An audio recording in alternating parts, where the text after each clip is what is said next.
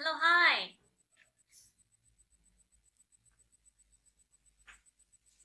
Uh, give me one second. I, I'm having some trouble to uh, my camera. It's okay. Now.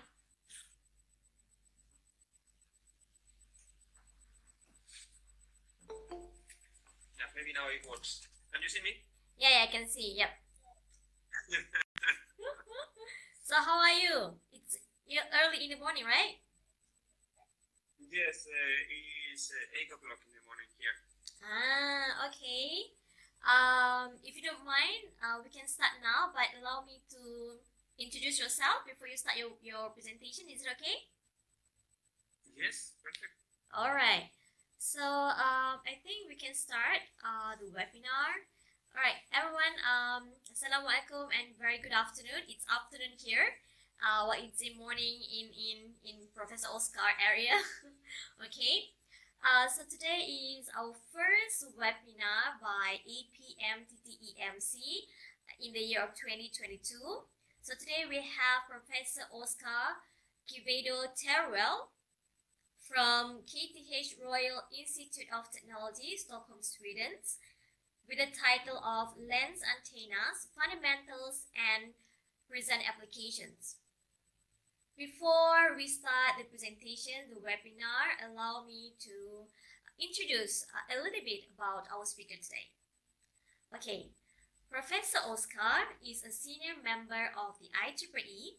He received his telecommunications engineering and PhD degrees from Carlos III University of Madrid, Spain in 2005 and 2010. From 2010 until 2011, he joined the departments of theoretical physics of condensed matter at Universitat Autónoma de Madrid as a research fellow and went on to continue his postdoctoral research at Queen Mary University of London from 2012 until 2013. In 2014, he joined the divisions for electromagnetic engineering in School of Electrical Engineering and Computer Science at KTH Royal Institute of Technology in Stockholm, Sweden, where he is a full professor and director of the master program in electromagnetic fusions and space engineering. He has been an associate editor of the IEEE transactions of antennas and propagation since 2018, a member of the editorial boards of Nature Science Report since 2021, founder and editor-in-chief of the EurAAP Journal Review of Electromagnetics since 2020. He is also a distinguished lecturer of the IEEE Antennas and Propagation Society for the period of 2019 until 2022 and a chair of the IEEE APS Educational Initiative Program since 2020. He has made scientific contributions to higher symmetric transformation optic lens antennas, metasurface, leaky wave antenna, and high impedance surface.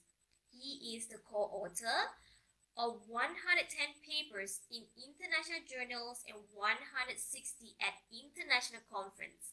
So without further ado, Please welcome Professor Oscar.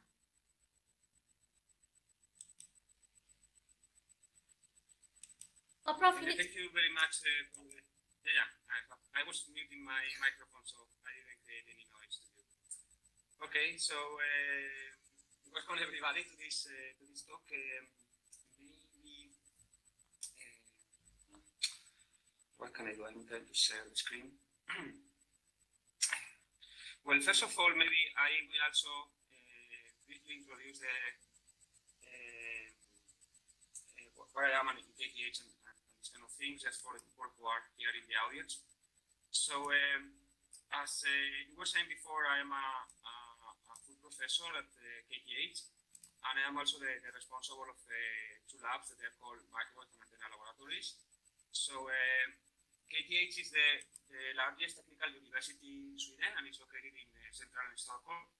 Uh, in fact, uh, well, my the light is very bad in my room, but uh, um, in a sense, my office is uh, here a little bit in the in the right part of this uh, of this photo. That is the main campus. Um, And as you were mentioning, I am in a school that is called Electrical Engineering and Computer Science. In school, there is a department that is called Electrical Engineering, and then there is a division, it's called Electromagnetic Engineering. That is where I, I belong and I am working. So uh, these, um, these divisions belong to something that is called the Alfvén Laboratory, and probably you know this thing, but uh, Professor Alfvén was uh, in physics um, we have a kind of a good combination between electromagnetics, applied physics, and also power engineering. So we are not doing only microwave technology or antennas, but in this division we are also doing hardware um, engineering and also applied physics. Uh, so as I say, I mean, I am in, in charge of uh, two labs that are called Microwave and Antenna Laboratory. Here's a photo of uh, our lab is an anechoic chamber. Um, well, this is more or less what I explained before. Uh, just in, in, case you are curious also uh, who fund uh, my research and where I work, essentially the, the funding in, in, my team is, is coming from fundamental associations that they are giving us funding to do fundamental research, but also part of the, of the funding in Sweden is coming uh, co-funded by the industry or funded by the industry. Eh, as eh, you can imagine, here in, Sweden we have a lot of input from Ericsson, that is very a very strong Swedish company. So part of our activities are focusing, well, in the past we were more 5G and now we are working more in, in 6G. So antennas and microwave technologies for, for few generation of communications.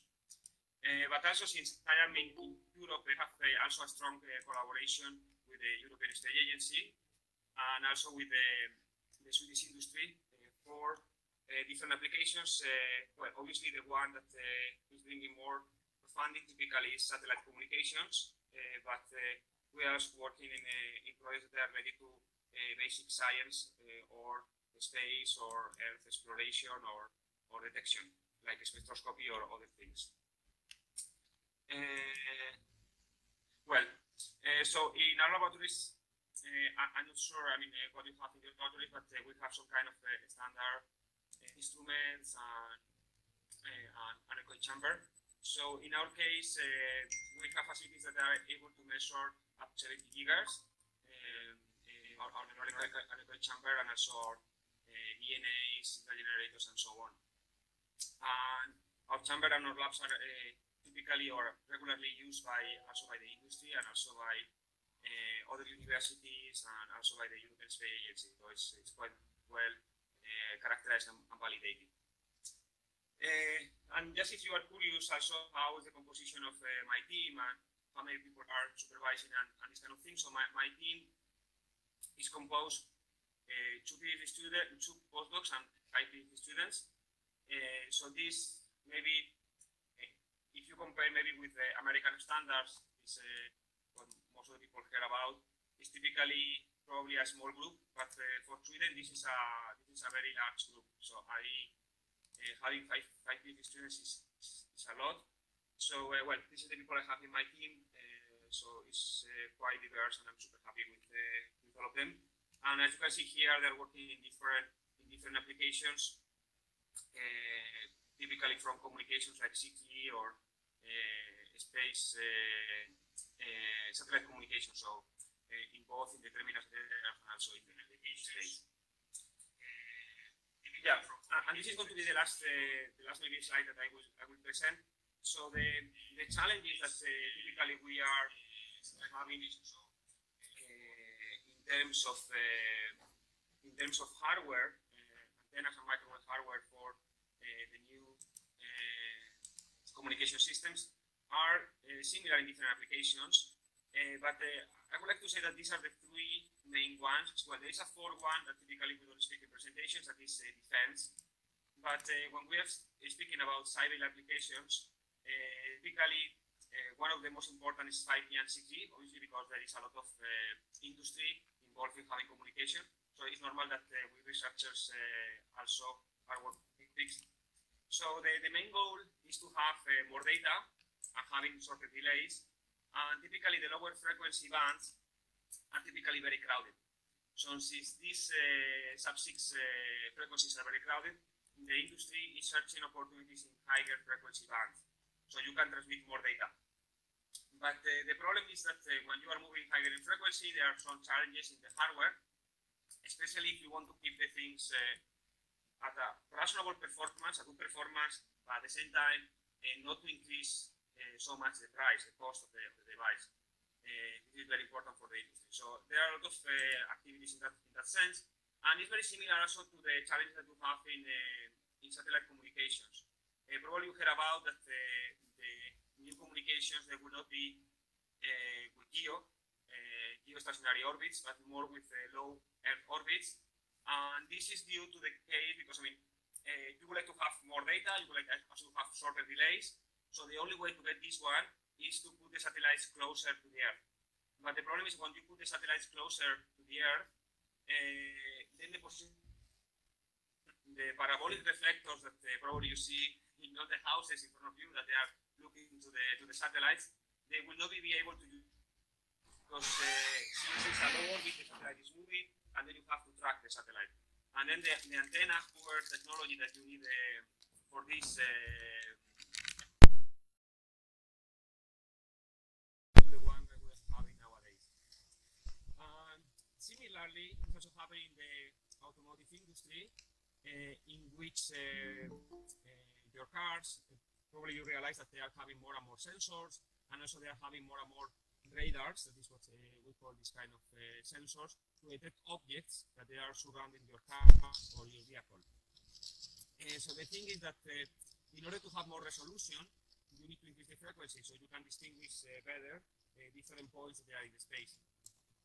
so then, well, probably you are aware that when you have your car and have an object, you have this beep, beep, beep, beep something in your in your in your car, uh, but typically it tells you that there is a very big objects or in a big area, but it's not able to detect small uh, small parts. And this, this, is because the radars that you're having typically now, new cars are, are located in 70, 70, 77 gigahertz, but uh, in order to have more resolution, you will need to increase the frequency. So you will have to go to higher bands uh, above 100 gigahertz. Uh, and here's the same, the same problem. I mean, when you have in a car, you want to you want to have more resolution, but at the same time, you don't want to revert to the to the users. So you want to have something that uh, works well, but at the same time, it's cheap enough so the people can afford the cost of this uh, of these radars. Uh, okay, so this is the this is the main story, and then this is uh, related to the talk of today because when you are increasing the frequency, uh, it's important to reduce the cost, as I was saying, uh, so then if you want to use a classical classical arrays, uh, you will need to active components, shifters, and then these, these active elements typically they are they are not cost effective and also not only from the perspective of the cost, but also from the system, because typically they are not super efficient. So this means that they are going to dissipate a lot of heat, and then typically you will need also some coolers in order to, uh, to have a proper system that can be commercially available. So then this comes to the, the fact that uh, essentially we will need to we will need to simplify these arrays. And in order to simplify these arrays, uh, what the people are typically doing is to use uh, quasi-optical systems. And in this case, we are speaking about, for example, reflectors, or we're speaking about lenses. This is where it culminates the story of today. So I'm going to give you a brief course on, on lenses uh, from the fundamentals uh, to the um, from the fundamentals to the more advanced uh, techniques. Okay. So now, uh, can you confirm somebody that uh, you see the, slide the lens antennas? Yes, uh, I can see the slide. Okay, so then uh, I have now the outline here in the slide. So um, uh, here I tell you more or less uh, what we're going to talk today. So I'm going to have a brief introduction. Uh, then we're going to speak about uh, homogeneous lenses, uh, spherical and non-sphericals. Then after that, we will speak about the limitation of lenses. It's very important for you as an engineer that the people, they don't tell you only beautiful stories about how the things are working well, but also it's important that people tell you, I mean, where do you have to look in order not to have something that is working really bad. So in this sense, no, and this is one of the beauties of electromagnetic or antenna engineering, is that there is no perfect solution for all the applications. Uh, so lenses they have limitations, but you have to be aware uh, which are these limitations and also how you can mitigate part of these limitations when you have a real a real device. Uh, and then finally, we will go for more fancy stuff. we'll go for very vintage lenses. And then finally, I will make a brief introduction of um, new techniques like transformation optics or metasurfaces and how these techniques can be applied uh, for real cases, for uh, the real stuff.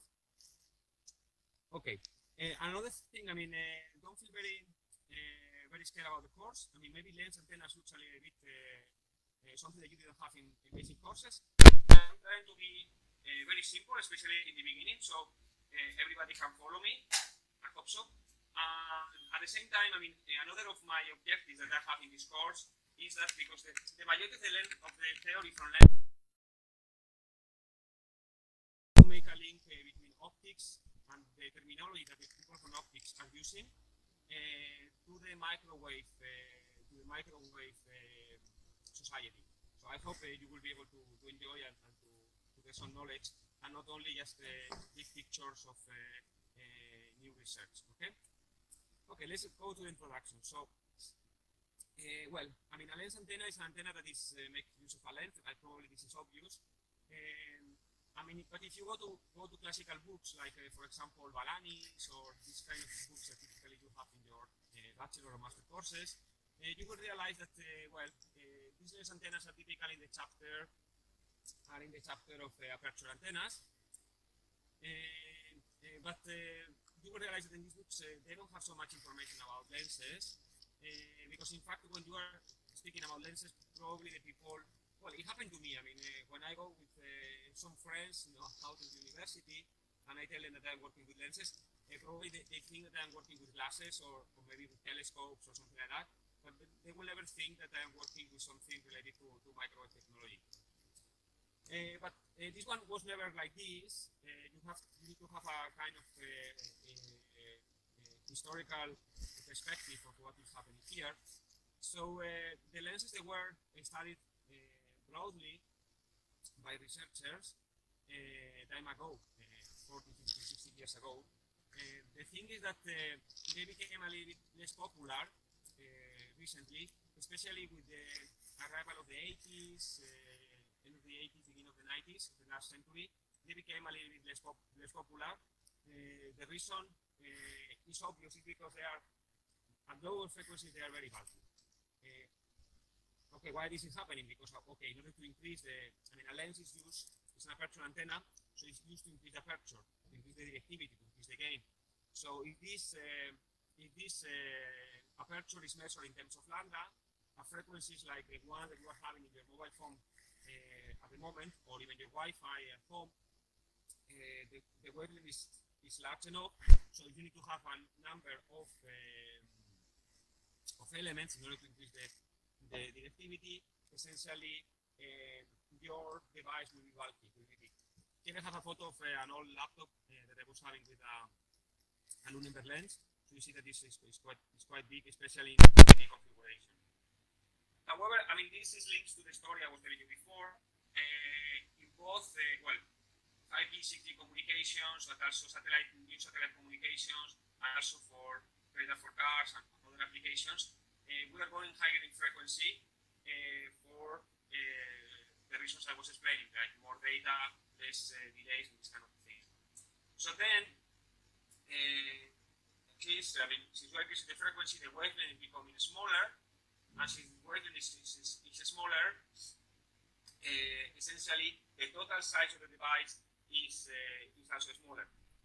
And also you have to think, as I was telling you before, that a quasi-optical system is typically like a lens. It's also quite interesting because uh, you don't need to pay so much uh, attention to the details. It's something that is, uh, well, big for the wavelength.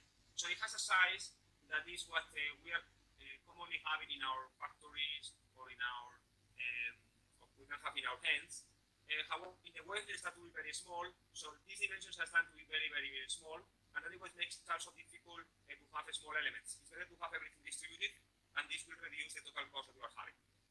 We will discuss this one uh, at the end of the lecture today when we go for the advanced things. But uh, here you have two examples. This is a, a lens that, uh, I mean, it doesn't look like the lenses of your glasses, you know. This is a lens that we were doing in collaboration with Ericsson here uh, for 5G communication. This is uh, working in K-band. And this is an other lens, also fully metallic, that uh, we doing in collaboration with the European Space Agency for uh, satellite communications. So uh, these things start to have find new applications.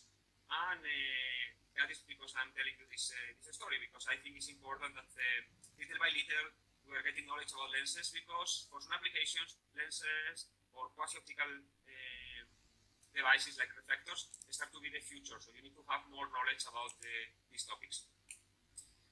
Okay, so uh, what is a lens and how, how it's working? So lenses can be used not only for antennas but also for imaging systems so, I mean, if you have an object like this one, it will uh, emit, then you will arrive to your lens that is this kind of uh, purple uh, white thing.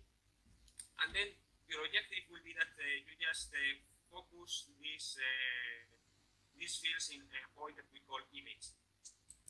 I'm going to use this, this kind of system for the schematics. These black lines represent more the front face. So the the phase, the, the place in which we are having the same face for the electric field, for example. And this uh, dotted, uh, dotted white uh, lines or arrows represents the Poynting vector if you want to look uh, from fields. But this is typically what uh, um, you will have in optics, like uh, what the people are considering rays uh, somehow. okay, but we can also use one, for example, for, for antennas. for example, if you have an object, this object will generate something that is quite spherical, then when you are very far away, you will have something that is uh, planar, like a plane wave. And then this one will arrive to your lens. And what you would like to have is just to, to capture the maximum that you are having in the aperture of the lens to one point. So you have a, here a receiver. And the same thing for an emitter. In emitter, problem is uh, that you have this uh, emission here. You arrive with something that is uh, quite uh, cylindrical or spherical. And what you would like to do is to transform this one in something flat. So this means that you will have something that is focusing in one single specific uh, direction. Okay, so when we're speaking about uh, lenses, it's important that we have uh, two main tools uh, that we need to understand. So the, the first one is is uh, reflection and refraction. Okay, so uh, probably you have this one in your in your basic courses, well even in, maybe even in high school or something like that. So imagine that you have two different medium, one with a refractive index of one and another one with another refractive index uh, in two.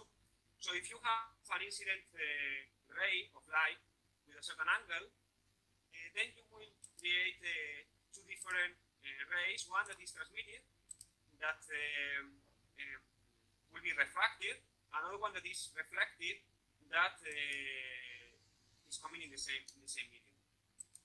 This one is coming with something that is called the Snell-Descartes formulation. So it tells you that uh, these angles uh, depends on the refractive index that you are having. So in this sense, the, the incident and the reflected rays, they are going to have the same angle because they are both in one. But the second one, since N1 and N2 are different, then this angle is going to be, going to be different.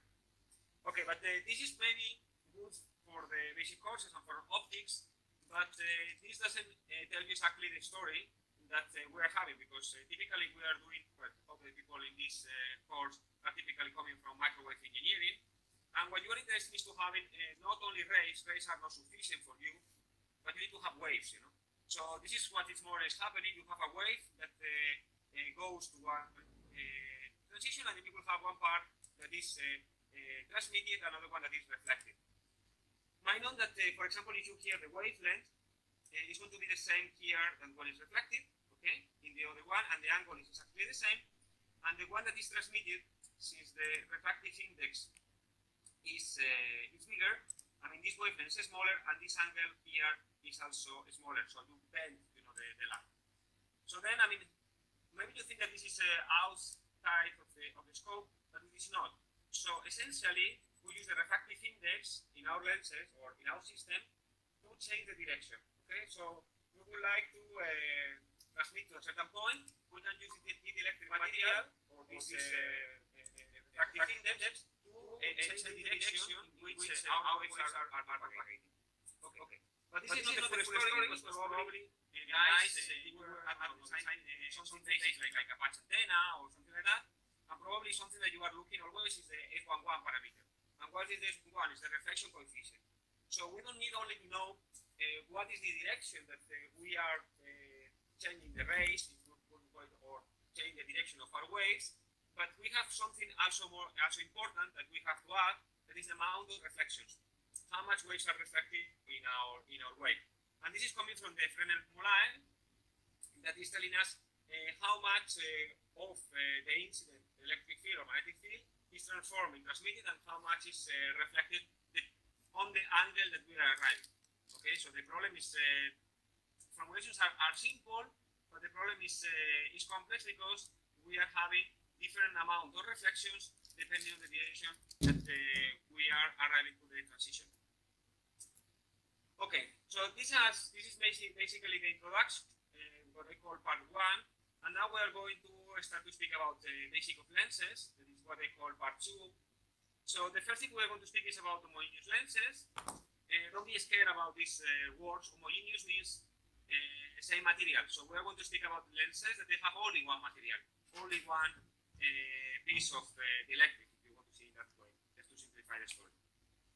So uh, typically, if you go, I mean, these kind of descriptions typically they are not in microwave books. They will be typically in optics books. So they will speak about something that they call convex or, con concave uh, so when they speak about convex, they, they mean that this shape is like this and concave is like this. Okay, if you have two shapes, they will call biconvex or biconcave. And if you have one that is planar, they will call it uh, planar concave or planar convex. If you mix one of the sides with convex and the other one is concave, then you will have what is called meniscus uh, lenses that we're having here. Um, so when we're speaking about spherical lenses, the theory is super, super, super simple. So you have to assume that uh, you have uh, uh, two circles, imagine a two-dimensional lens. then these two circles, they have two different radius, radius 1 and radius 2. Then what we are going to take is the intersection, the intersection between the two circles, and this is purple uh, thingy.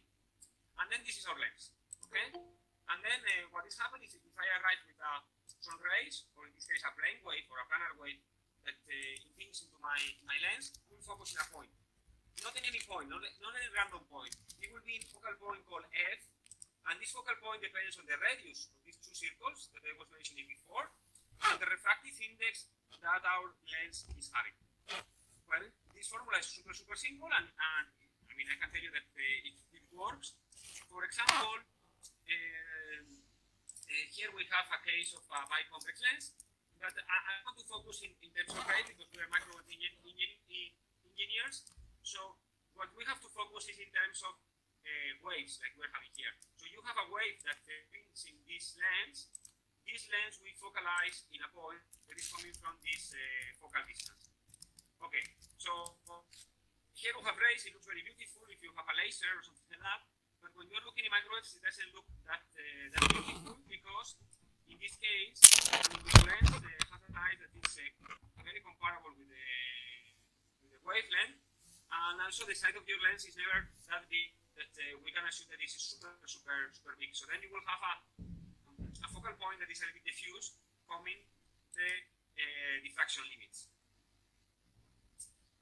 Okay, that was the perspective of the reception I was telling you before. But imagine that you think from the perspective of the transmission. Imagine that I, I would like that you imagine that uh, these uh, electromagnetic waves are something quite small. I always put the example of the a pond of water. You just uh, throw a stone, and you see how the things are moving. Obviously, uh, the longitudinal waves that we're having in the water are different to the ones that we're having in the, with electromagnetic. They are polarized, but uh, I mean, uh, waves are waves, and they they are following uh, sinus and cosinus. So it's something similar. It's a good metaphor, and it can maybe you maybe you image what is happening with electromagnetic waves because you don't see the, the, the microwaves. So it's better that I mean, you have an image of what is really happening. Anyway, so imagine that this is a pond of water and I just uh, throw here a stone, vertical stone, then this one will generate a cylindrical wave, an electromagnetic cylindrical wave. In this case, this wave will arrive my lens and what is going to happen is that I will create or uh, a directive beam in this direction. The same I can do if I, for example, have a source uh, displaced. I will to my lens and I will produce planar wave in that direction, and the same thing if I do it from the bottom. Okay. So then we have the concept that is coming from optics, that is the rays, this kind of Poynting vectors, if you want to call it way. Then I already made a link with the waves, that is uh, red and blue thing that you are seeing in these animations. But uh, we are also, in this case, we're speaking about lenses. Lenses typically used for antennas. So we need a, we need a third jump. We need to do a Fourier transform of these uh, field distributions to what we call radiation pattern. And the radiation pattern will be something like this. So in either case, we will have a beam that is going in this direction, here a beam that is going in that direction, and a beam that is going that direction. And this is what, uh, as an antenna engineer, they will ask you um, for any application to achieve a certain radiation pattern with certain properties. Okay? One good thing of the lenses is that typically lenses, in, if the material doesn't change inside of the lens and is stable, to have uh, a response that is independent of frequency. So for example, here I have a T 1.5 times, two times the frequency, initial frequency. And you see that if I throw my stone in this uh, in this pond, I'm going to get plane waves in the three cases. But what is, uh, when you change the frequency, uh, you have to think that, uh, yeah, the, the properties look the same, but there is something that uh, from the antenna perspective uh, makes these three cases different. And is that in terms of wavelength, we are having different aperture size. So this means that even if the, the lens behaves the same at different frequencies, the directivity, how narrow is my main beam, is going to change respect to the frequency. Is that here we will have something wider, here something narrower, and here narrower because I'm increasing the frequency, I have a larger aperture, echo wavelength, so I achieve a higher Okay? Okay. Uh, I, I was telling that we can have a biconvex case in which we have uh, two sides that are convex, but uh, the same case applies when we are having one that is planar. The formula will be the same formula, but now it's more simple because one of the radius is equal to infinity. So then, essentially, the, the, the formula comes uh, for the focal point more simple, but the thing is the same. You have a, a focal point and produce a plane in the other direction. This one, again, to take my metaphor, you kind of animations. I did this one in CST, uh, but I like also this kind of uh, animation here because it's what I was telling you before. You just generate something here in a dramatic point of view, in a, in, a, in the pond of water. I mean, you just throw here so you see that the waves are going cylindrically, and then with your lens, you transform these cylindrical waves in something planar. Means you have some pattern that is directed in that direction. Okay, I was speaking about convex lenses, but uh, I, I, was also telling you that the, there is other type that is concave, and the same here. The, in the convex, the, the concave, the formula is exactly the same that we had before, so life is very easy for us, to be honest. But the difference is that the concave lenses are something that we call diverging lenses, not convergent lenses. So this means that when I arrive with a plane wave, I'm going to diverge, but not randomly. I'm going to diverge from something that we call a virtual focal point. That is the one defined by this formula. So this means that if I arrive with a wave to a lens, then I will diverge in the other side of the lens, but I don't diverge uh, randomly. I just diverge like a kind of circle that has a radius that is this one that we're having here. Okay? My known because I mean uh, probably I mean you're looking to my graph and you think okay, but uh, here I have the fields. No, no, this is not what we are looking at. These fields here are the reflections uh, coming from this side. But what we are looking here is this field. This field is the one has a virtual focal point that is here. So this means that if I have here an observer, if I look here from the right to my lens, I will have a virtual, an illusion, an illusion. I will have an illusion that everything is coming here from this source, you know. It doesn't exist, but it's coming from there because the reality is that I have a plane wave or a planar wave coming from my left to the right. But me as a viewer here, I have an illusion and I see that the waves are coming from this point here in this uh, distance that is defined from this. Okay, the same thing applies not only for the biconcave, but also for the concave. The only difference is that uh, since my formula will be simplified because R2 is equal to infinite, so essentially the focal distance will be larger. So then my systems will be uh, totally large. Okay, we were speaking about uh, converging and diverging lenses, what we call convex and concave lenses. Uh, but what about the meniscus? The meniscus are a combination of uh, concave and convex. So the answer is very, very simple. If I have a converging lens like this, and then I just uh, remove one part, so we have one that is convex, another one is uh, concave, the one has the smallest radius, in this case the one in the right, is the one that is uh, predominant, so then this one will be still a converging lens. And in the case of the right, it's the same. If I do this, this radius is smaller, so then this one will have more impact. So this means that this one overall, even if it has one convex and one concave shape, in, uh, in reality this one will be diverging because the radius of the diverging part is more important than the one of the converging one that is. Okay, we can combine lenses, lenses that uh, they cannot, they don't have to be isolated. So, for example, one way to, com uh, to combine lenses is to put uh, two converging lenses together. So this means that, for example, in this case, if I arrive with a plane wave, I will focus in this point, then I will diverge again, and then I will arrive to my second lens, and I will have something that is essentially the same.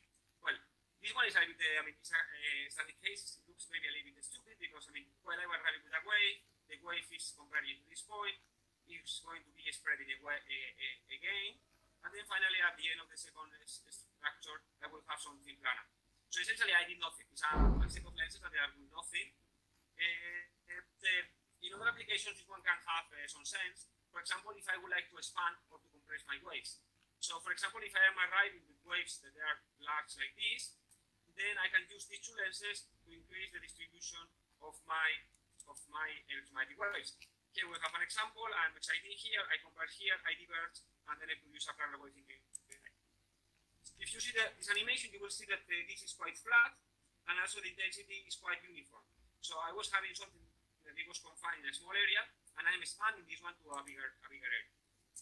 This is something that uh, somebody will do, I mean, a first approach to expand some waves, also, uh, I mean, actually you don't need to, I mean, as expand, you can also make this one for compressing, that it will be the inverse.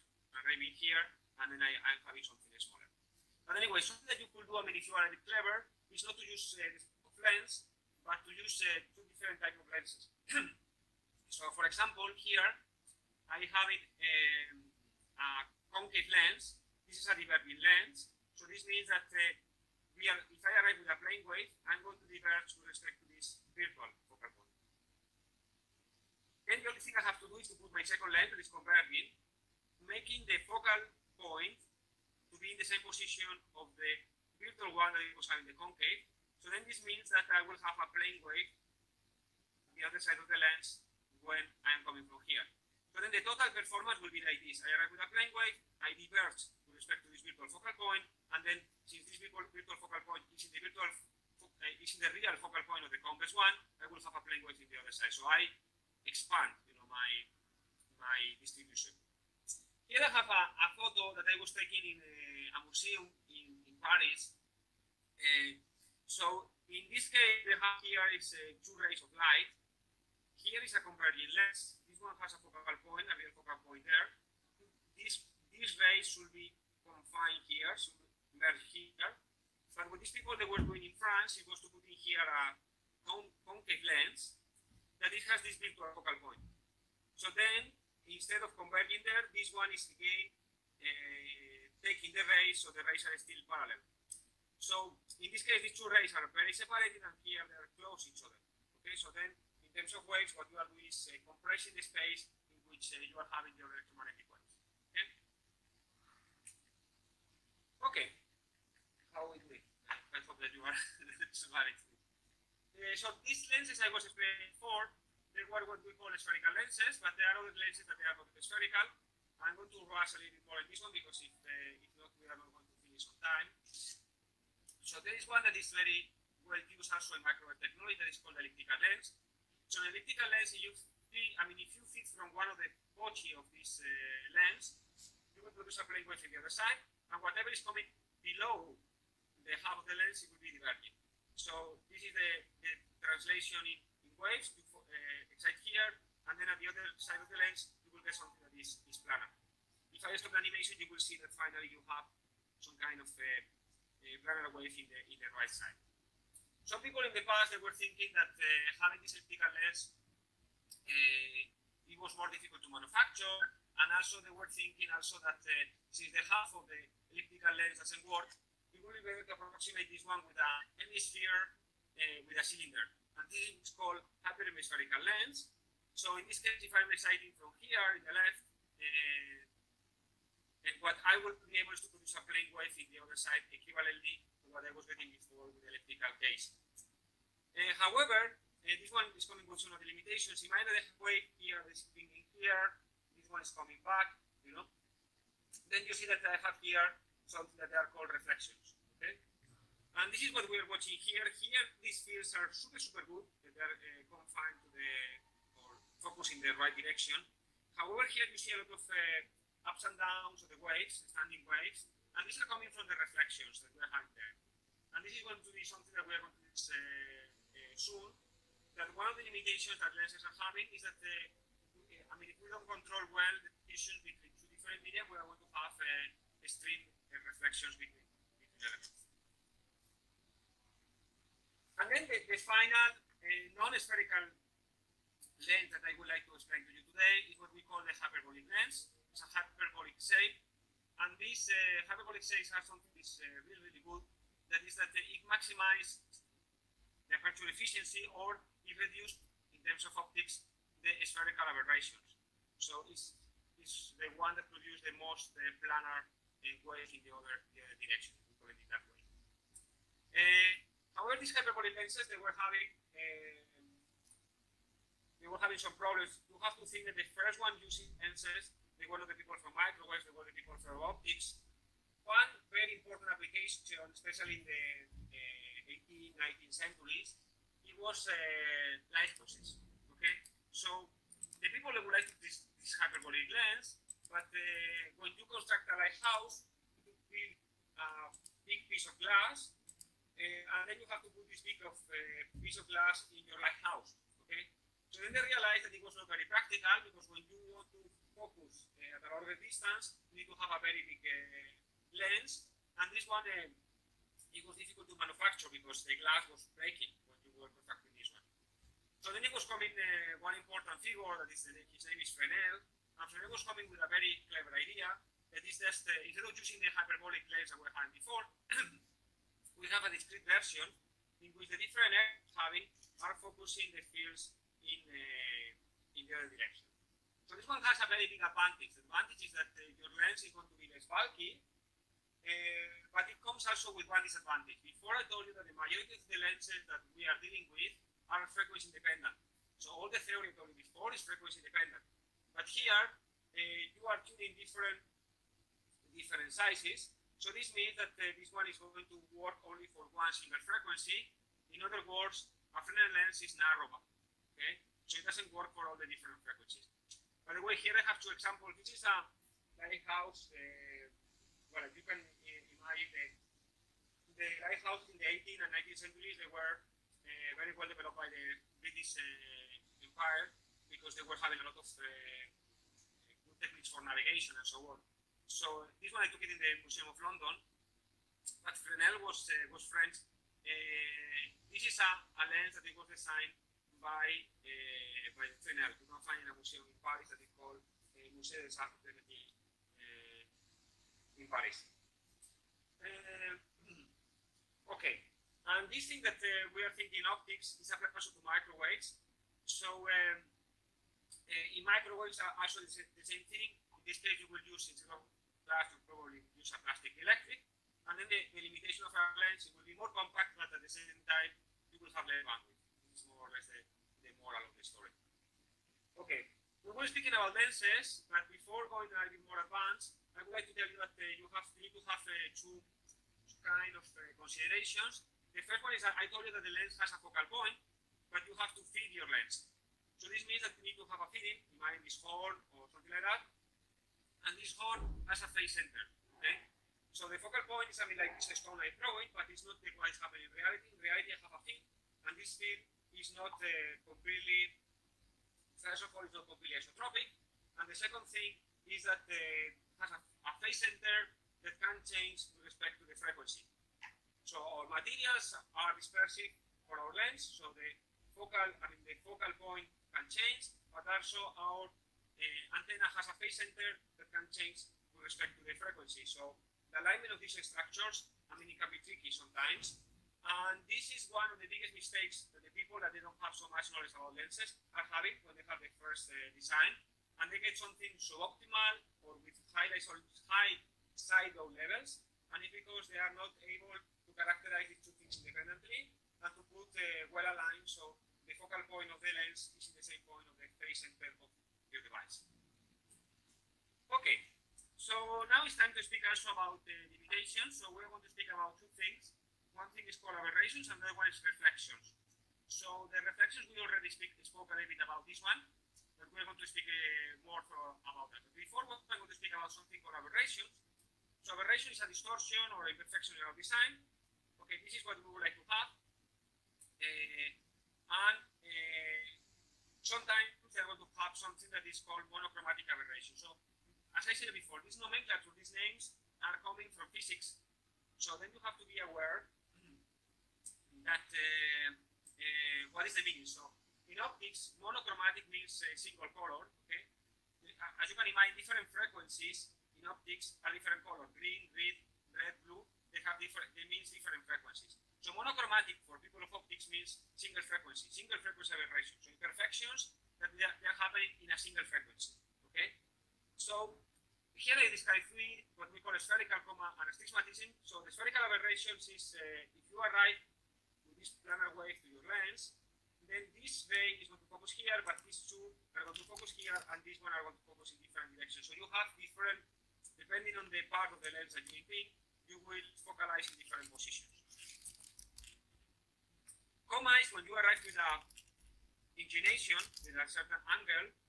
Uh, so this one will focalize here, this one will focalize there, and then you will focalize there. So you will have a kind of, uh, you will not have a single point, you will have a kind of a drop, uh, like a water drop there uh, of, uh, of fields or rays. And astigmatism, maybe some of you has astigmatism, I, I don't know, and maybe you need glasses. So astigmatism means that uh, you are having different focusing properties depending on the plane that you are having. So in the horizontal plane, you focus here, and in the vertical plane, you focus in this purple, in this purple part. Okay, so this is the nomenclature coming from optics, and probably your question right now is, Oscar, what is the influence of these things from me, from an, an antenna engineer? Okay, so from an antenna engineering perspective, if you don't control your aberrations, this means that will decrease your directivity and then you will increase the sidelobe levels. So I'm going to put examples so you see uh, how the things uh, are really working. So if you have here um, a feeding and you have here a lens, this lens, uh, I designed this lens wrong, so I, I designed with uh, having some astigmatism. This means that, I mean, if I look to the vertical plane, the vertical plane is perfect, but in the horizontal plane, I have some kind of curvature here, so it's not completely flat. This means that it behaves differently in the vertical and the horizontal plane. So this uh, this lens has astigmatism. Okay. So how this one is uh, performing the traditional pattern? So this means that in the vertical plane I will have some lobes, and in the, in the horizontal plane I have some lobes, but in the vertical plane it's working much better because it's uh, astigmatic uh, between the vertical and horizontal plane. I could even do a worse design. This lens has more astigmatism than the, the one before. So then here it's completely flat, but here is even more distorted in the horizontal plane. And if I fit this one, you will see that now it's not even yellow. Now I have red blobs here. So as more astigmatic my lens, I will have higher zero levels and I will have less directivity and a more distorted radiation pattern. So the moral is that you have to control your aberrations. Okay, I was speaking about monochromatic, single frequency, but there are also chromatic aberrations. So they are distortions that they are dependent on the frequency. And as I told you, I mean, in optics, uh, this means that the red, green, and blue, they are focusing in different points of the space, for example. This will be a very uh, good example of a chromatic aberration. Okay, so if you don't control your chromatic aberrations uh, in your design, this means that your, your lens antenna will not be broadband, but uh, it will only uh, work, work in a narrow band of operation. However, even if the typical case is that you would not like to have is, uh, chromatic aberrations, in some cases it can be useful, as I was explaining before, when uh, your feeding is, has a change of the phase center with respect to the frequency. Okay? So uh, I can give you one example of research uh, that we were doing here at KTH. So for example, I mean, uh, you probably have this example if you have a sunny day and it's raining, then when the light is passing through the drops of water, then uh, you will have a dispersion. So this means that uh, you will have uh, different frequencies, different colors, will go in different directions, and you will see a rainbow. Okay. So one very simple case that has a change, uh, a lot of change in frequencies, what is called a leaky wave antenna.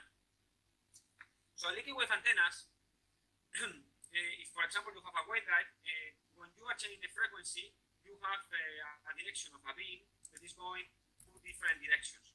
So change the frequency, change the direction of propagation. So here, what we were doing is to use a prism, a lens, that is doing the, the opposite here. Instead of uh, dividing different frequencies, what we would like is that when we arrive at different colors, different frequencies, we would like to put all these frequencies together in the same direction.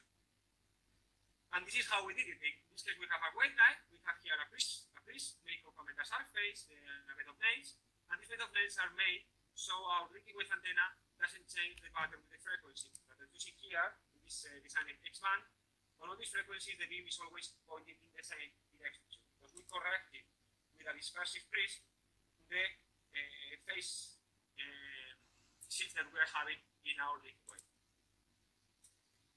That one is, was in X band, but here we have another example. This was in collaboration with Ericsson, uh, a 60 gigahertz for one of the bands for 5G and 6G communications. So we, here we have uh, the waveguide, and then we have this prism that is correcting, you know, the dispersion of the leaky wave. And here is the measurements from 56 to 66, and you see that the beam is always focusing in the exact same direction. Uh, okay, so we were speaking about aberrations, chromatic aberrations, spherical aberrations, but now we're going to speak about the other limitation, that is uh, reflections. As I told you, uh, we have to come back to the formulae that is telling us that uh, part of the waves are reflected, another part is uh, well transmitted, another one is reflected. And I will tell you that you cannot uh, avoid this one for any direction. Even in the normal direction, you're going to have uh, some reflections. Well, this is something that probably you have in the basic process. If you have a refractive index equal to 1, and you arrive with your wave to a transition between 1 and 3, then part of the waves are uh, passing through, but some of the other waves are reflected, and then here what you will have is a standing wave in the left part. In the right part, you don't have a standing wave because the amplitude is always the same, as you see here, but in the left one, we have this uh, standing wave because we have uh, up and down, you know, the waves going up. We have a combination of an incident and a reflected wave. And this is something that, uh, well, maybe you didn't reflect about this one, but this is the problem we have as a microwave or antenna engineers. We don't want to have reflections because reflections means lower efficiency. We don't want to waste the energy that we are having. We want to have it everything transmitted or everything going to the direction we want, and we don't want to have uh, things reflected. This is a waste, uh, a waste of power. Okay.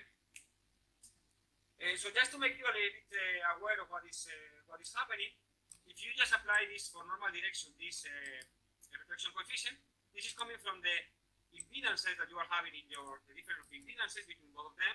In this case, what I was doing is to implement different refractive index with the only with epsilon, not with mu. So for the case of n equal to 2, you have minus 9 degrees, and for n equal to 3, you have already minus 6 degrees of uh, reflections. That is quite high. Okay. Uh, and this is what will happen essentially when you have a real lens. You will have a wave that is to your lens, and then uh, you will have waves that are passing through, but you will have reflections and multiple reflections inside of your lens. And this one, what is going to generate is uh, waste of power, sidelobe levels, cross polarization, etc., etc., etc. So it's a really bad performance of your of your of your lens antenna.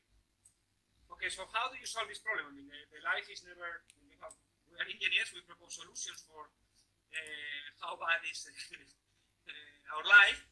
So one thing that you can do is to use something that's called matching layers. Uh, the most classical case is the quarter impedance transformer. Since this quarter wave, it means that it's designed for a certain frequency, so this means that this is going to be a narrow band solution. Uh, but just to tell you how it works, uh, this is the transition between n uh, impedance of 1 to 3. So you, hear, you here you see the reflection, you see here the standing wave. However, when I apply this thin layer, quarter wavelength, then you see that I don't have any fluctuations to the left. So everything that is coming from the left passes through the, the layer and goes to the other one. So I have actually no reflection. But how many these reflections are? Well, practically zero. The frequency that this is quarter of wavelength, you have uh, minus 18 dBs, you can call it in that way. But however, this is narrow band because it's only working for these frequencies, but when I go to other frequencies, I have to have reflections again. Okay? So it only for this single frequency. So in order to increase the bandwidth, the people are using a different number of matching layers. For example, in this case, we have three. So with these three, you can uh, push to have three nulls, for example, here, and then you have a more larger bandwidth in which you don't have uh, reflections. Well, you still have reflections, but they are not very high enough. How much this means? For example, if you have minus 15 dBs, then you will see here that uh, it's passing very smoothly, but still you see a little bit of a blowing up, blowing down. So this is something that you can also use your uh, fancy uh, simulation technique like CST, HFSS, FEKO, or whatever uh, to identify your designs where to have these fluctuations because these fluctuations are going to tell you where you have reflections and then where you are wasting power and how you can improve your, your full antenna. Okay? this was a very simple story because I was speaking only about normal direction, but you have to think that when we have a lens, you don't have only normal direction that be the point number one, but you will have also point two and point three. So this can be a little bit more tricky because you have to design different coatings, different uh, matching layers depending on the direction of arrival. But I tell you that if you don't control your reflections, you will have a higher level of polarization, higher level of sidelobe levels, you will decrease your directivity, and you will decrease your efficiency. So please, I mean, if you want to be a, or you want to have uh, my own advice, please uh, take into account your reflections when you are designing lens antennas if you want to have something that is, uh, is good enough. Okay, so we're, going to complicate a little more uh, the things we were speaking before about homogeneous lenses, and now we're going to speak about the gradient index lenses, lenses that they have different materials in space and non-homogeneous. And for this thing, I mean, we have to use, uh, start to use uh, something that is called the Fermat principle, that's super important. Uh, so uh, essentially, the, the Fermat principle is telling us that we have two points A and B. The light is going to follow the shortest path, but not the physical path, the optical path. And the optical path that the light is, is looking at, it depends also of the refractive index that you are having inside of the of the of the uh, path that you are moving. So you have to look uh, to the uh, refractive index like a kind of backup, backpack that you have stones. So there are stones that you are putting on you. Then it means that in this medium, uh, you are going slowly, slowly. So then this means that the distance will be larger. Okay, so imagine you have this basic basic case here, in which I have two mediums with the M1 and M2, and I would like to know uh, which path the rays are going to follow from A to B. So it can be the red, it can be the blue, it can be the green, it can be any possible direction, and I don't know which one is going to take. Fermat tells us that this is going to follow the shortest path, you know. So what I can do is to, to, uh, to calculate all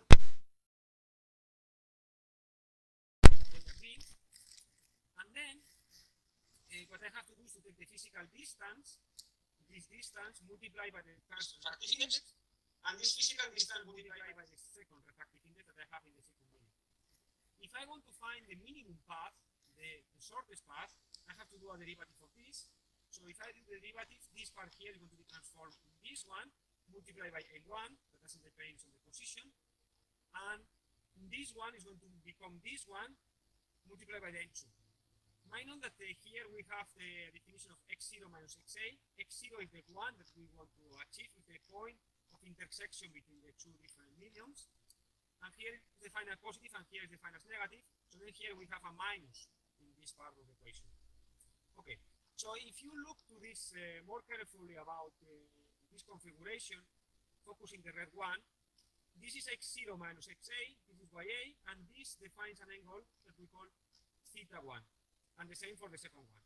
So then this means that this part here is not more than the sinus of theta 1, and this part here, or this part here is more is not more than the sinus of theta 2 here.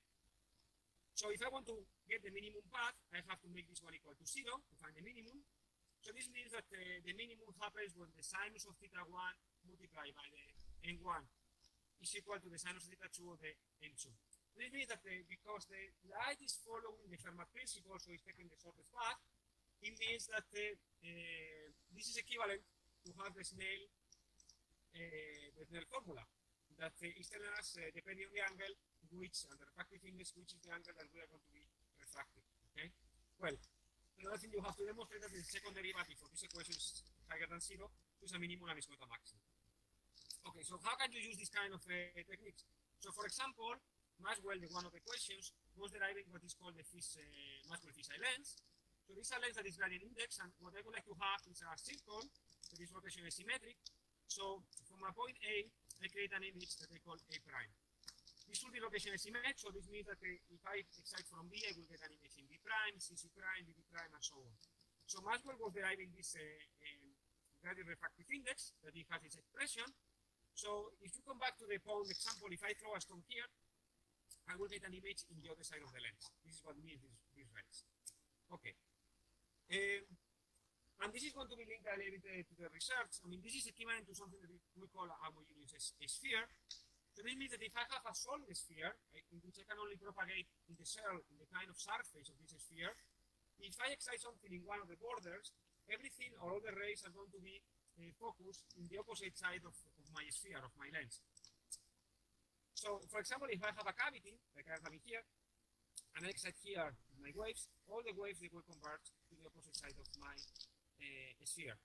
So these two things are equivalent. In other words, if I am exciting from here, I will get an image in the opposite side of my of my lens. So how can you use the Maxwell fisheye lens to do in a, to do in a, an antenna? So one very uh, easy way, if you go to this one, is that in the middle of the lens I have a planar wave. So I can cut my lens in the half, and then if I excite from the left, I will get a plane wave in the right side of my lens. However, this one, if you were following my lecture, uh, has some limitations. The first thing is that uh, you will have reflections because the refractive index here is different to here, and this transition I will have reflections, especially when I implement this one or uh, this one with the epsilons only with the, electric constant. And the second thing is that uh, I destroy a little bit part of the beauty of the uh, Maxwell idea. that this, this thing is not uh, rotation symmetric anymore. So then this means that uh, depending on where I excite this thing, I will have different performance. So it will be angle angle. So then to solve this thing was coming another, person, his name was uh, and he was proposing a, another type of uh, rotational symmetric lens. And in this case, if you excite from A, you get a plane wave here, B there, and C there. So it's not creating an image, what it's creating is a plane wave in the opposite direction of the lens. And in this case, we are very, very lucky because in the borders we are having uh, an epsilon that is 1, so we will not have reflections in the border, and also it's completely rotational symmetric. So I will not have different properties for different directions. What we are thinking in terms of antennas, I will not have uh, scan losses. Okay.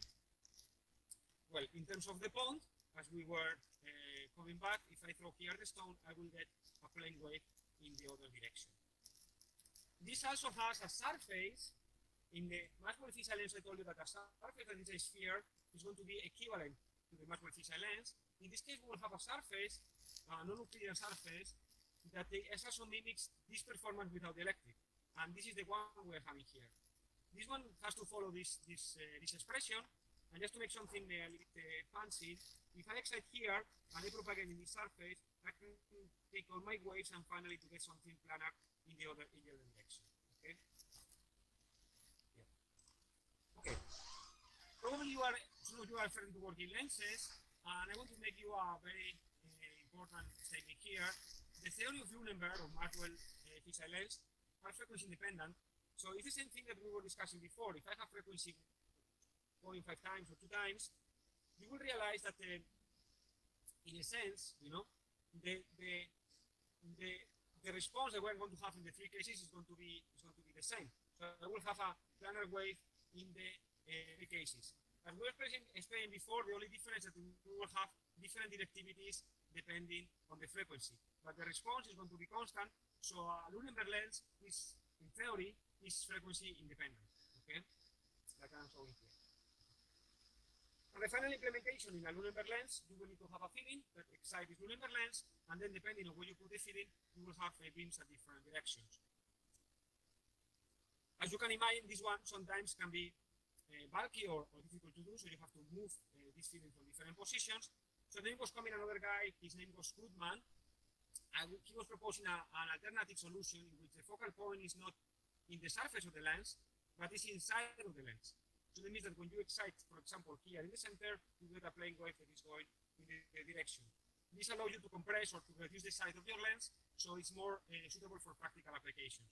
However, when you have a truncation, here in this case, for example, cutting very badly the can in this case, you will see that uh, you can also increase slightly the side lobe levels and a little the decay.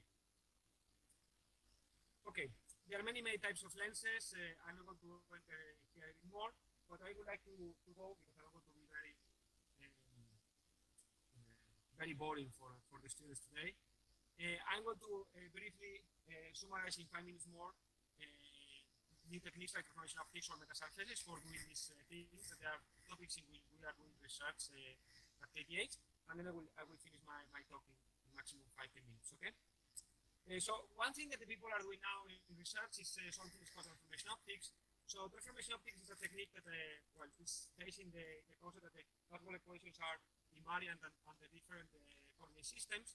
So if you place, for example, in this system that we're having here, an Luneburg lens, this coordinate system that is a circle like you are having here, you can uh, get the same, the same response if you just uh, transform the space. For example, in this case, uh, you are transforming something that is uh, a circle in something that is flat. The only thing that you have to do is just to change from the conventional Cartesian axis, that in this case are x and y, to something that is in this space is x prime and y prime, that they are the lines that they were here defined before. So this, this makes you, for example, have a transformed space in which you have a similar performance of the Luneburg lens. Uh, so if you feed from the center, you will get this plane wave, but you don't have to follow this circular shape. In this case, if you follow flat shape here, a flat line, you will get uh, a beam scanning in this, in this direction. Okay, this one was what I was proposing in this very interesting paper from 2010. Uh, but uh, in that paper, what they were doing is to modify uh, the shape of our original lens change the spaces, the optical spaces. Uh, but something that you can do is also to, to define a new performance. For example, I told you that when you throw the stone in the pond, you get a cylindrical wave. But something you could do is to use this, transform, this transformation to make uh, four edges, like I'm having here, and then to define a new space that is a square instead of cylindrical. So this means that I will need this refractive index, and with this refractive index, when I throw my stone in my lens, I will not get a, a kind of uh, circles of the face, but I will have a square wave uh, coming here. Okay, this is a new device, so this device is kind of uh, like new. Uh, but the, the important thing is that you can also use this one for practical application. For example, at KTH we were, we are developing a concept that is called bespoke lenses. Lenses made ad hoc for a certain feeding. So your feeding has this front face or this front face or any other arbitrary front face. Typically what you would like to do is to get uh, a flat face front. So in this case, uh, you can apply a coordinate uh, transformation between this face uh, space and this one, and to get something that is more directive. So we apply, for example, this one uh, to correct the aberrations that you are having in a hyperspherical lens, like you are having here. So imagine that you have a slot in a dielectric, the waves and the front face is going to have a certain pattern. What you can do is to take this pattern like I was doing in the transformation of a cylindrical, I mean, a cylindrical to a square uh, face, and then I transform this one in something flat, like I have in the top. Then I will have a flat face in the other side of the lens. And you can see here the comparison between a conventional hyperspherical lens and our bespoke lens. So bespoke lens has the face completely flat at the other at the direction. And this means that uh, if you compare with classical lenses, like uh, this one we have in the left, you can increase the directivity, you can reduce the sidelobe levels, you can reduce the, the cross-polarization. In other words, you can do everything, you know. So if uh, you are making lenses that they are bespoke Okay, they are made ad hoc for your specific fitting. You can get uh, an improvement of, of the performance that you are having. How you implement these lenses? Okay, so for example, here we with the nano micro composites. Uh, you can also do it with metamaterials. But now that you have 3D printers, you can implement this kind of uh, different layers with different fillings of your uh, material that you have in your 3D, 3D printer. Uh, here I have an example of a Luneburg or Gutman lens, but you could be a, an optical transform lens too, also. It's not uh, exclusive. This is typically what we do for uh, three-dimensional lenses, but when we are dealing with two-dimensional lenses, it's becoming very popular what we call meta lenses or meta surfaces. Uh, and then what you would like to do is just to uh, not to use dielectrics, typically at higher frequencies, because you want to improve the radiation efficiency, but to have this kind of periodic structures, typically fully metallic, in order to mimic the refractive index that you need in order to produce this kind of lenses. Uh, so one thing that you can do is just to use, uh, for example, uh, bed of nails, or in this case, holes. One thing that we are very, very uh, active at KTH is something that is called glide symmetry. Uh, so for example, in this case, what uh, we are doing is, well, glide symmetry is when you just take, for example, a, a periodic pattern that is whole, and instead of using the conventional pattern, you just flip back, and then you just move half of the unit cell in X and Y, and then you get a glide-symmetric uh, unit cell. So glide symmetry has demonstrated that, like uh, we're having this, in this graph here, that is able to reduce the dispersion. This means that you have uh, more bandwidth. It's able to also to increase the effective refractive index for the same dimensions, and also increase the isotropy that we are having in our in our structure. So this can be done, for example, for designing a Luneburg lens, like uh, we are having here. Uh, here I have an example that we were doing with Ericsson. This is a design we did in K-band. And as you can see, I mean, this, since it has the Luneburg concept, has very, very low scan losses. This is in K-band uh, near to 30 gigahertz. And you see that uh, depending on the, these are different frequencies, and depending on the frequency, you are able to scan in different directions with very neat, uh, clear beams. As I was telling you before, I told you that uh, refractive index that can be mimicked with the third dimension. I told you that the Maxwell fisheye lens is equivalent to a sphere. But also something you can do is just to get a equivalent surface that mimics the performance of a Luneburg lens. This is what we call geodesic lenses or non-Euclidean lenses. Here, for example, we have an example that we will with the European Space Agency for making a completely fully metallic Luneburg lens that is uh, very efficient, more than 95% of efficiency. And it has also very neat uh, radiation patterns with very low scan losses, because think that uh, this is plus minus 60 degrees or even more. And also very nice radiation patterns with very uh, low sidelobe levels. So it's a very quite uh, cost-effective and nice uh, solution. Okay, I don't want to take you more time. I think I already took more time than uh, I should. Uh, so I, will just uh, go for a, a, brief summary. So lenses are used to increase the, the activity of, uh, of uh, single antennas. In other words, we are increasing the aperture of the, of the antenna. We were dealing with, or we were speaking about homogeneous lenses that they can have high reflections because you have reflections through the borders. We were speaking about the spherical and non-spherical homogeneous lenses. We introduced the concept of relative index lenses that if you use, for example, something like the Luneburg lens, you have very few reflections. Implementation, we were speaking about different type of implementations, like for example in 3D with uh, uh, 3D printers, with metamaterials, with uh, composites, and so on. And in 2D, with uh, we were speaking about implementation with metasubstrates or basic shapes, like we were showing at the end. Uh, the limitations, okay, lenses are not limited in frequency, but as I told you at the beginning, they were not using the low frequencies, and this is due because they are bulky. So it's typically when you increase the frequency, lenses are uh, more applicable and, and, they find more applications. Uh, you have to be careful about the losses, especially losses due to reflections, but also if the lens is very big, uh, it's better to implement them with a full metallic. So you are reducing the lenses because they plug in the air. Uh, as I was saying here, if you have reflections, try to use matching layers to reduce your, your reflections and also be, be careful of the aberrations that we were talking about. You remember the example of the prismatism. In terms of bandwidth, as I was saying, I mean, well, I mean, if the lens is super, super small, then you don't, you don't increase in terms of wavelength the, the aperture, so then uh, it doesn't have uh, so much sense. But it's the same for a reflector, it's the same for, for an array. And then uh, to be very careful about the losses, especially when your, the size of your lens is very big because you have to pass through all the lanes, so you could have uh, significant losses. Um, but in general, I mean, lenses are super, super wideband, as we were showing before in some of the examples. Uh, there are very few examples that they are narrower, and it's typically in the implementation. Like, for example, if you implement a Fresnel lens, the Fresnel lens it will have uh, interpretation of the wavelength, so essentially it will have narrow band. Or if you implement with a meta surface, you have to be careful that your unit cells are uh, are dual band. Okay, so with this one I, finished. Uh, if you have any question, I will be here to answer your questions. Uh, but if you want to contact me later, I mean, this is my email. And also, if you want to see uh, uh, some of these publications and what we are doing in research, you can always enter in the webpage. And then, uh, well, you write my name in Google, and the first page typically is this one. And then you have here all the publications and everything. I spend a lot of time in my webpage, so it's, it's quite update, and it has a lot of information of what we are doing. So, yeah, thank you very much, and uh, I'm open for questions.